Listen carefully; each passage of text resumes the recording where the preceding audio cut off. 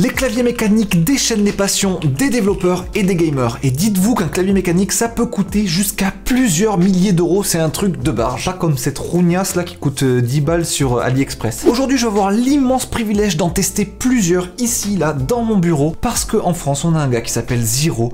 Et Zero, c'est un Twitcher qui passe son temps sur sa chaîne à assembler en live des claviers luxueux comme ça qui coûtent une fortune. Et là, Zero, il est dans un taxi avec une mallette pleine de ces claviers là. Les amène ici et ça va être juste incroyable. Je suis comme un enfant actuellement. Moi, je m'y connais pas très bien dans tout ça, donc on va pouvoir lui poser plein de questions, découvrir tout ce beau monde ensemble. Et puis, je vous donnerai mon honnête avis à la fin et je vous dirai si euh, un clavier à 1700 euros c'est genre euh, insane de ouf ou alors si franchement euh, le clavier à 10 balles d'AliExpress fait tout à fait le taf. Mesdames et messieurs, un tonnerre d'applaudissements pour Zero. Zero, s'il vous plaît. Salut, Yo, ça va Ça coûte euh, plutôt bien, un peu crevé avec le taxi là. T'as fait bonne route Ouais, ouais, alors j'ai capté ça plus tard, mais t'as une valise qui pèse une tonne en fait. Ouais, ouais, ouais, beaucoup de claviers, euh, enfin beaucoup. J'ai pu en prendre autant que je pouvais. Combien Et, euh, 9. Et ça fait une valise à combien de kilos? On est facile à 15 kilos là. Ce qui fait combien de, de- de kilos par clavier? On est entre 1 1.5 et 2 kilos par, par clavier. Ça, c'est le premier truc qui m'a choqué en fait. Et parce que le clavier de chez AliExpress que vous avez euh, chez vous en majorité, il fait quoi 200 grammes? Ouais, 200-300 max. Dites-vous que les claviers qu'ils fabriquent, ils font 10 fois plus. Et franchement, la différence est insane quoi. Alors celui-là, qu'est-ce que c'est? Alors là, on est donc sur un Trio 75 qui n'a pas encore été vraiment sorti. C'est une, c'est un prototype donc avec des switches linéaires et beaucoup de mousse à l'intérieur. D'accord. Mais il reste, c'est un clavier qui est très particulier pour ça. Il est extrêmement flexi. Oh Voilà, donc quand j'appuie dessus, tu vois, il s'enfonce. Sachant que là, j'ai mis toute la mousse. Quand tu mets pas de mousse, c'est vraiment débile. Il est trop mignon, il a la palme du cuteness. Voilà, il y a des petites touches chat, etc. Là, Moi, il faut pas que ma meuf voit ça, sinon elle te le vole, hein, ce clavier. toutes. Toutes, ok. Ah, c'est ton clavier pour pécho On va dire ça. Ah, yes, ok. Alors, laisse-moi essayer ce truc. Oh mon dieu. Alors, Alors, un délire celui-là. genre, ça m'a fait fondre le cerveau et les oreilles, et genre, c'était abusé. C'est doux, ça claque, c'est c'est un plaisir. Mais attends, mec, c'est trop ouf. Donne-le-moi. non, mais c'est trop bien. Lui, euh, esthétique et son, euh, gros coup de cœur. Gros Ouais, coup de cœur. Vraiment très très sympa.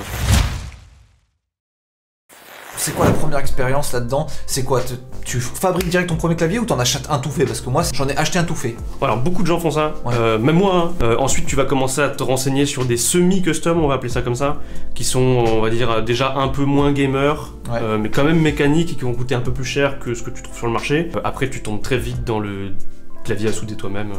Parce que c'est un rabbit hole de l'enfer, hein, ce truc. hein. Genre, bon, si t'as un esprit fragile, tu tombes dedans. Ah, c'est fini. Excuse-moi. Ah Excuse-moi, Zero, mais tu Ah as été un esprit fragile. Moi, j'ai pas tenu. J'ai pas tenu. Et là, alors à partir de là, de fil en aiguille, genre, très vite, t'en arrives euh, à créer tes premiers builds, en gros. Mon premier build euh, avec euh, soudure, c'était moins de 6 mois après, quoi. T'as été vite quand même. Ouais. Ce premier build, par exemple, il t'a coûté combien? 250 euros à peu près Ah, ça va. pour un premier build. Ce Ça qui est vraiment le prix le plus bas que tu peux avoir pour avoir un truc potable. Les amis, voilà le clavier en question. Je te laisse l'approcher de la caméra pour qu'il puisse voir un peu ce qu'il en est. Hop. Voilà. Ça, c'est ton premier clavier, donc. Ouais, Impeccable, on va arrêter cette mascarade. c'est terrible. Fais voir. Donc c'est pas le plus lourd, mais euh, ça commençait déjà à pas mal peser. Quoi. Ah, En main, ça pèse, hein, c'est sûr. Ouais. Premier build, on appuie dessus. Il est extrêmement décevant, et c'est fait exprès. Non, non, mais je, je sa- je savais que la réaction allait être naze, c'est fait exprès. Yes. Euh, c'est un build même que j'ai fait. En gros, c'est un mélange de switch silencieux et de switch clicky. Oh, la barre d'espace. Ah, écoutez. Voilà. Non, le son est quand même cool. Le son des, des touches. Oh non, mais c'est pas un truc de fou parce que c'est fait pour être silencieux. Et tout ce qui est fait pour être silencieux en général n'est pas incroyable en termes Ouais. de son, c'est normal. Pourquoi je l'ai refait Parce que j'avais pas lubrifié les switches. La D'accord. première fois que je l'ai fait, et ça c'est la plus grosse erreur qu'on fait quand on est débutant, c'est qu'on ne lubrifie pas les switches. Et ça n'a rien à voir euh, en termes de feeling et de son entre les deux. Et les, et les switches, en fait, tu peux nous montrer là sur celui-là? C'est possible de montrer Yes. euh, Alors, ce que c'est un switch? Alors du coup, euh, donc Ouais. on vient prendre un petit keycap puller là, Ouais. et on vient retirer donc une, une keycap, donc une Ok. truc en plastique. Ça du coup c'est un switch. Cette petite chose bleue, c'est le switch. Voilà. Il est magnifique. On est toujours sur un clavier en aluminium, mais l'interne est un peu différent. Trop bien. Bah, vas-y, je, je, je meurs d'envie d'essayer parce qu'il est magnifique. Oh, qu'il est beau. Oh, méga différent, méga Ça différent. n'a rien à voir avec celui d'avant. Ok, Rien à voir. Attends, alors attends. Le bruit est trop mignon. Mais je préfère le bruit plus, euh, plus tamisé de l'autre, le Ouais. plus étouffé de était un l'autre. peu plus moussu. Ouais, ouais, ouais, ouais, ouais. Toi, qu'est-ce que tu penses de celui-là? Euh, un peu trop dur pour moi celui-là. Et cette touche là. Oh mon dieu, qu'elle est belle. Alors ça c'est une artisan du coup, c'est encore un autre délire dans la communauté, c'est des touches faites à la main. euh. C'est quoi que, que tu cherches le plus toi dans un clavier que tu construis? Parce que moi honnêtement les, les premiers trucs qui m'ont mis dans le clavier mécanique c'est des petites vidéos de 1 minute sur YouTube qui font des millions de vues où t'entends juste le son du clavier. Et alors ça moi ça m'a liquéfié le cerveau et je me dis Ouais. je veux ça, je veux ça. Bah alors moi ça déjà, euh, j'en fais aussi, Ouais. mais c'est vrai que euh, c'est très souvent ce qu'on appelle donc ce que t'as vu là, c'est le typing test. Ouais. C'est très souvent ce genre de vidéos qui vont te faire ah ouais mais là ça ça sonne trop bien, Ah ça a l'air fou. Vas-y j'ai envie d'essayer quoi. Moi maintenant je suis moins dans ça euh, parce que j'ai de la chance de pouvoir en toucher plein des claviers mécaniques. Je suis plus euh, sur le coup de cœur aujourd'hui. Et c'est vrai qu'au début j'étais en mode à la recherche du son parfait, à la recherche du feeling parfait et en fait ça vient avec le temps et c'est là où c'est un rabbit hole comme tu dis, c'est Ouais. que euh, ça, ça va tellement vite, t'es en mode ok j'en ai un, mais en fait peut-être que je pourrais faire mieux avec le prochain. Oh puis lui il est trop stylé donc je vais ah vas-y je vais j'essaie d'acheter celui-là et ça s'en finit, ça finit plus quoi. C'est euh, un Oh. clavier imprimé en 3D.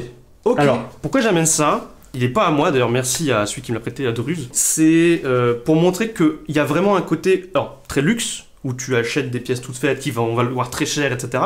Mais tu peux aussi, si t'aimes bien un petit peu le DIY, Ouais.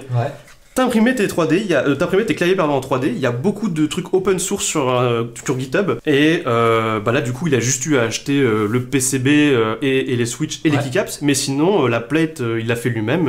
et, et la case aussi. Alors attends, je suis très curieux de le tester, je me mets à- accroupi pour...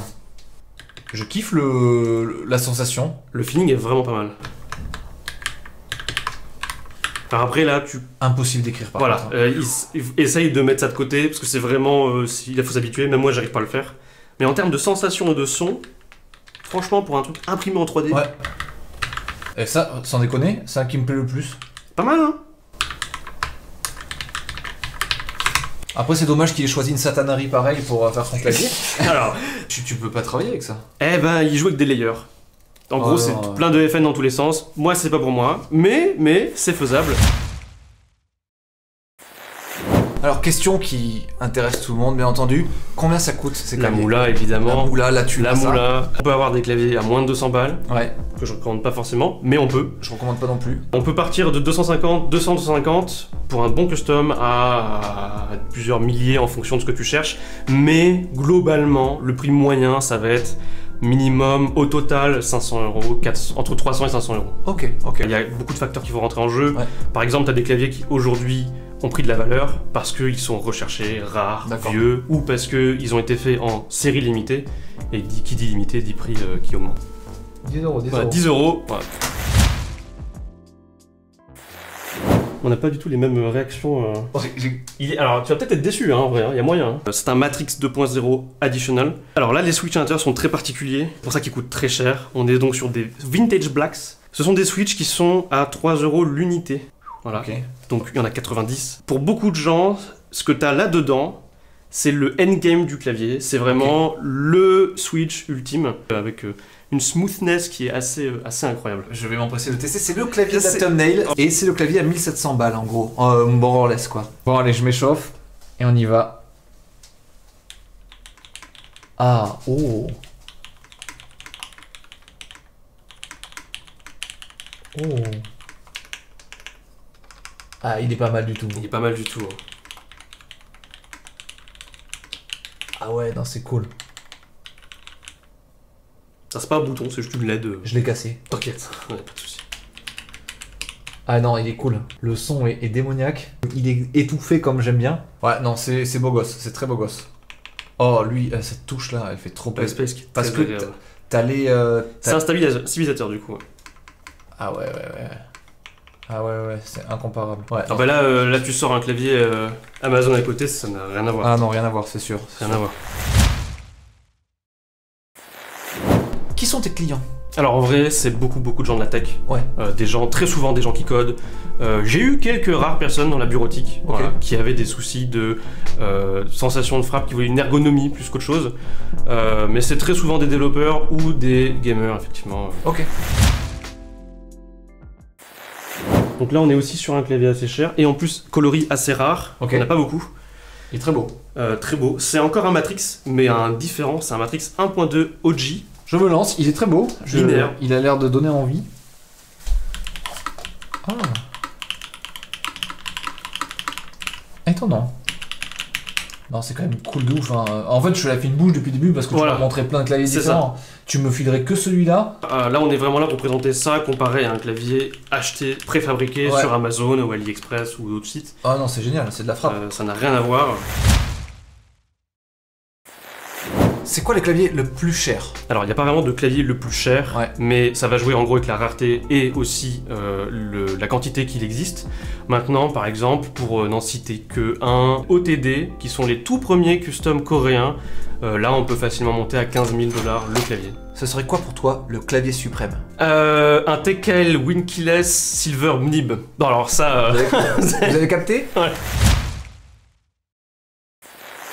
c'est pas, c'est pas n'importe quel plastique, parce que oui, c'est du plastique. Ça, c'est un clair plastique. Mais c'est ce qu'on appelle du polycarbe, du polycarbonate. C'est un plastique, un plastique qui est très difficile à usiner. Donc, ça coûte en général plus cher que de l'aluminium. Ok. Et donc celui-ci est sympa parce que tu peux avoir le côté très RGB, très gamer on va dire, mais aussi euh, le côté très rétro si jamais tu, euh, tu décides de ne pas l'allumer parce que le plastique ça fait toujours un petit peu rétro. Ouais.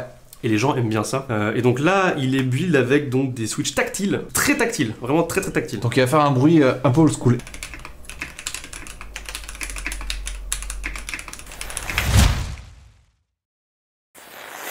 Tu streams tous les camps. Tous les dimanches à 15h, Ok. je monte un clavier. Et le mercredi soir à 21h, on discute. Parfois, on corrige des builds ou on, on fait ma shopping list aussi. Parfois, Ah euh, oui, voilà. oui, oui, j'imagine. Bon, bah c'est sur Ziroffre, sur Twitch. Bah, je vous mets le lien dans la description. Et Putain. Alors, il a donc ce qu'on appelle des chanfreins, donc ce qui sont le bord des, des touches là, qui sont argentés. Donc ça vient réfléchir la lumière en dessous des keycaps. Ok. Ça brille un petit peu.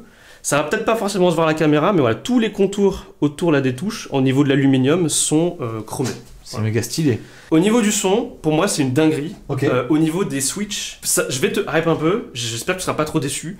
Mais ce sont des switches absolument incroyables. Ce qu'on appelle des cream cycles. Donc c'est inspiré de la, bah, du cream cycle, c'est la, la, la lollipop, enfin c'est la, la glace américaine, orange, qui sont faits à partir de deux switches différents. Et euh, c'est un des meilleurs batchs que tu peux avoir de ces switches-là. Dis-moi plus, dis-moi plus. Dis-moi plus. Laisse-moi le, le tenter. Alors. Oh. Oh, il a la palme. Celui-là, il est vraiment.